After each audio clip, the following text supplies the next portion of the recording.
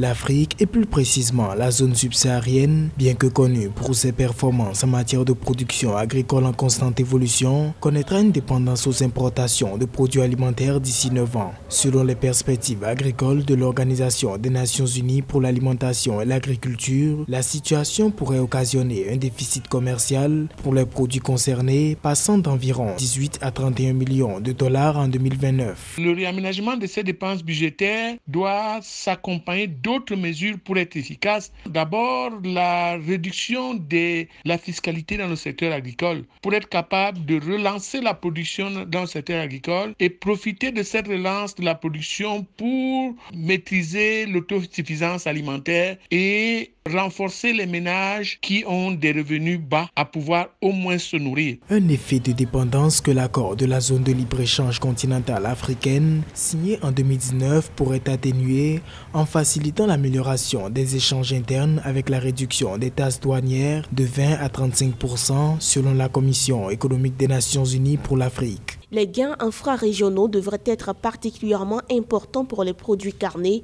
le lait et les produits laitiers, le sucre, les boissons et le tabac, les fruits et légumes et les noix, ainsi que pour le riz paddy et le riz transformé. En Afrique subsaharienne, le rendement moyen des céréales devrait toutefois augmenter de 16% entre 2020 et 2029, soit sensiblement au même rythme qu'au cours de la décennie écoulée. Une hausse qui devrait permettre de réduire l'écart avec le reste du monde en matière de production. все.